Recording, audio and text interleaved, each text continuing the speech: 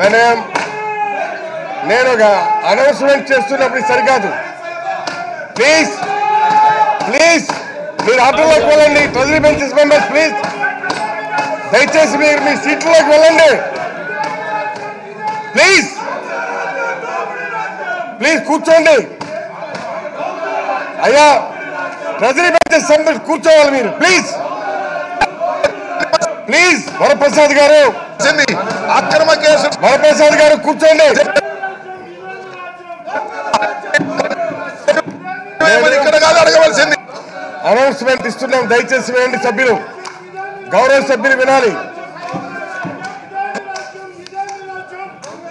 ఈ రోజు సభ ప్రారంభం కాగానే ఈ సభ అత్యంత గౌరవం ఇచ్చే సభా స్థానాన్ని తెలుగుదేశం పార్టీ సభ్యులు చుట్టుముట్టారు. సభాస్థానాన్ని అగౌరవపరిచే విధంగా కాగితాలు విసిరివేశారు. ప్రజాస్వామ్యయుతంగా నిరసన తెలియచేయకుండా ఈ సభ ఔన్నత్యాన్ని తగ్గించేలా తొడలు చరచడం మీసాలు వెలువేయడం వంటి వికృతి చేష్టలు సభలో చేయడమే తప్పు.